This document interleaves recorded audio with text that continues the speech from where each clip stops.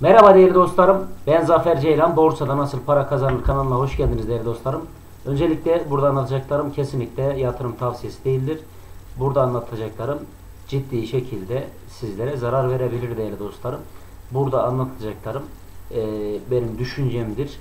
Grafikteki e, gördüğüm e, ne diyelim öngörüler veya grafiğin bizi yönlendirmesi diyelim değerli dostlar. O yüzden yanılma e, imkanımız da var.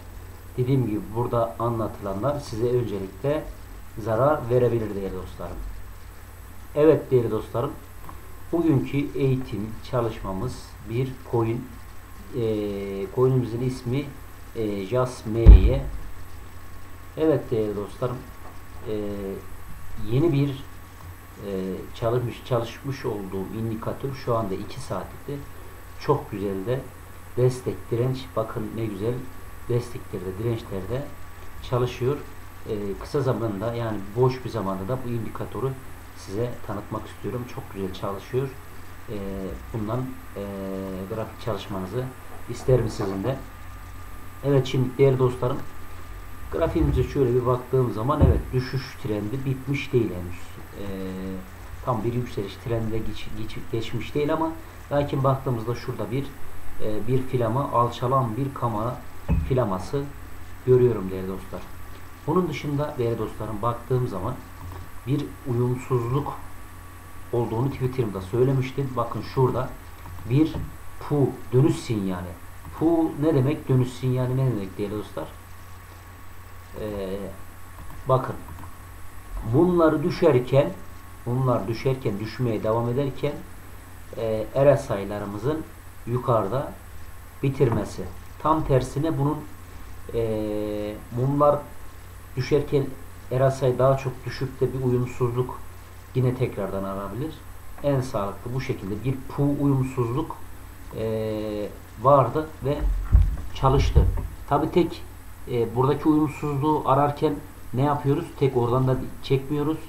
Grafiğimizin de şu tepeden çektiğimiz zaman bakın evet bir uyumsuzluk var ama ne oldu? Mumların da buradan kırılmasını izlemek lazım. En sağlıklı dönüş sinyali bu şekildedir değerli dostlar. Şimdi evet bu şekilde bir uyumsuzluk var. Pu dönüş sinyali. Aynı şekilde bir de ne var? Nu yani yükseliş trendinde bir uyumsuzluk e, demek. Aynı şekilde de bir dönüş sinyalidir demek, bir düşüş sinyalidir demek. Bunu piyasaya göre algılarsanız Erasa'yı da tabi 2 saatlik bakın eğer günlük kapanış olmuş olsaydı üzerine kapanış gelmiş olsaydı bu yükseliş devam edecekti. Tabi bunu 2 saatlik 4 saatlik bir günlük periyotlarda da bakarsanız daha sağlıklı olur. Yani 2 saatlikte çok güzel çalıştığı için ben 2 saatlikte size anlatmaya çalışmak istedim. Evet aynı şekilde de pu dönüş sinyaline baktığımız zaman şu seviyede şu seviyeye en son ne, hangi seviye görmüş? Ortalama 0.178 noktayı görürken burada bir uyumsuzluk aynı şekilde bir uyumsuzluk vermiş tepelerde bakarsanız anlarsınız arkadaşlar. Erasayımız da bunu onaylamış. Bir uyumsuzluk sinyali söylemiş zaten bize.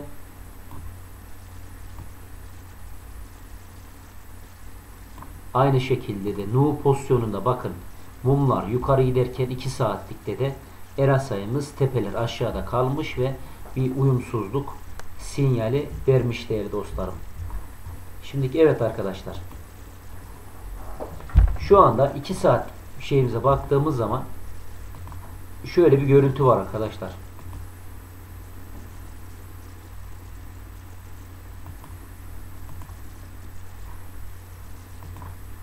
Bir, ne dedim? Bir alçalan kama, bir alçalan e, filama oluşumu var dedik.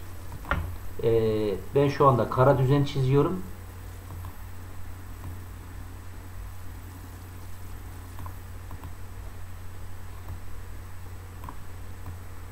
Tam milimetrik çekelim değil mi? Ne olur ne olmaz sonra sıkıntı yaşamayalım. Aynı şekilde bakın değerli dostlarım şu anda kırılmak üzere eğer bura kırılıp da bir onay aldıktan sonra ne diyelim şöyle bura kırıldıktan sonra şöyle bir hareket yapıp bir onay aldıktan sonra tekrardan yukarı doğru e, gitmesini Beklerim.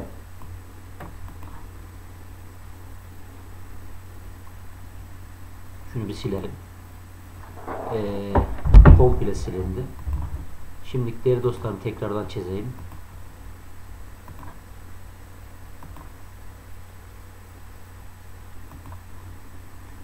Ben çizene kadar da bu arada e, herhalde filama oluşumu oluşacak herhalde içinden bir kırılım gelecek gibi görünüyor. Bakın e, filamanın dışına çıktı.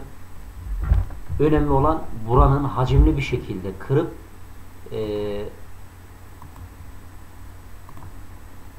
hedefine gitmesi değerli dostlar. Evet. Şimdiki ortalama bu kırıldıktan sonra onayımızı aldıktan sonra ne olabilir değerli dostlarım? Evet. Hedef e, ortalama 200 0 228 230 hatta e, tekrardan da bu görmüş olduğu eski zirveleri görme potansiyeli 260 civar yani 0 260 görme potansiyeli var.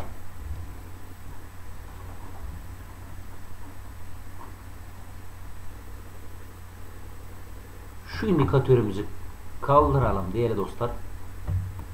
Bir Fibonacci çalışması yapalım. Değil mi? Şu tepede şuraya aldığımız zaman şunu tam kullanalım. Mıknatısımızı ee, bakalım bize nasıl bir hedef vermiş. Değerli dostlarım ilk önce Fibonacci'miz günlük düşünmeyin uzun vadelerde.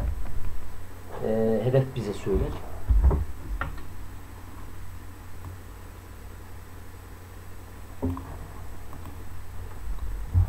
Şimdi değerli dostlarım Fibonacci'mize baktığımız zaman Fibonacci'mizde 618 biliyorsunuz her zaman e, güçlü rakamdır. Tabi oraya gitmeden önce de e, buralarda e, 0382 noktası yani ondan sonra 0.50 düzeltme noktaları e, yukarıda pardon direnç olarak çıkacak karşımıza 0618 güçlü bir bölge 185 e, efendim ondan sonra geçildikten sonra Fibonacci'nin 786 rakamı üzerinde günlük kapanışlar yaptıktan sonra büyük rally başlar diye düşünüyorum.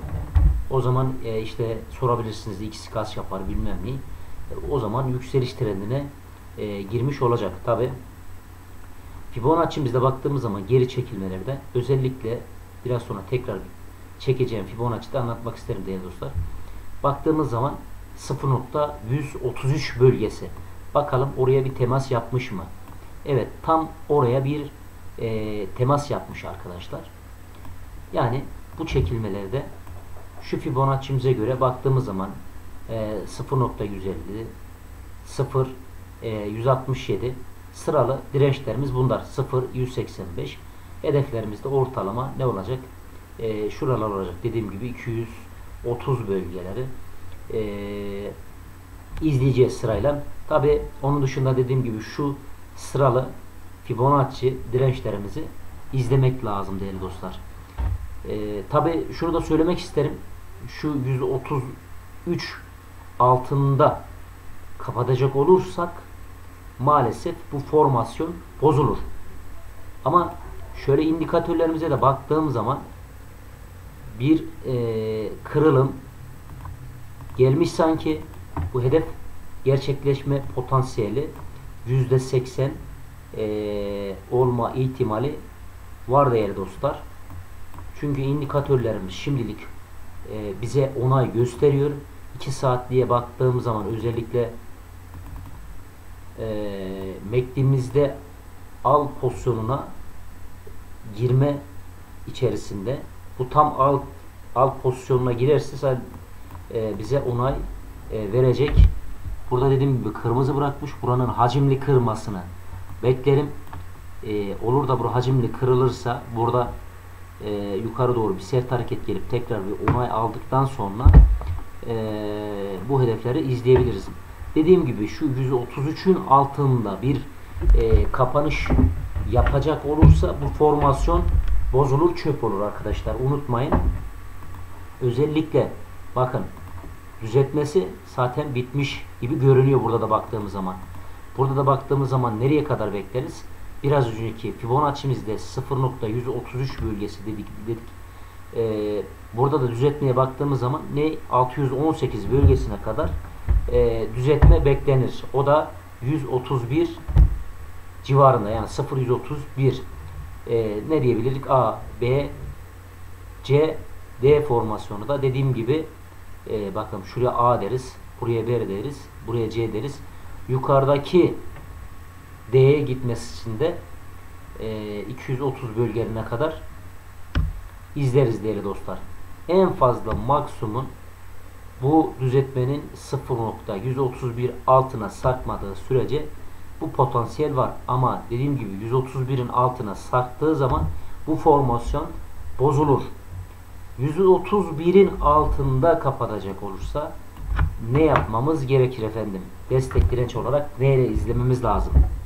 Tersine olduğu zaman da ee, sıralı Fibonacci'lerimizi izlememiz lazım. Oralarda neresi? Yani bunun içinde tekrardan e, Bitcoin'in düşüş trendine girerse biz de bunu izlememiz lazım. Eğer 131'in altında saktığı zaman da 120, 108 eski gördüğü dip seviyelerinde burada bir uyumsuzluk ararız. Ee, onun dışında ikili dibin altına da sarkacak olursa e, 0.79'a kadar güçlü Fibonacci'ye kadar izlemeliyiz değerli dostlar. Şimdi arkadaşlar evet şimdi buradaki grafik e, grafiğimiz bu şekil gösteriyor bize. Geçilirse Fibonacci dirençleri o şekilde izlenir. 131'in altında sarktığı zaman da efendim ikili dipe kadar 108 ve 0.79'a kadar bir uyumsuzluk ararız. Tekrardan izleriz. Yeni videomda buluşmak üzere. Bu arada kanalıma abone olup like atarsanız sevinirim değerli dostlar. Bol kazançlar, hayırlı yatırımlar. Dediğim gibi buradaki fikirler benim fikrimdir. Grafikteki gördüğüm öngörülerdir. Bol kazançlar.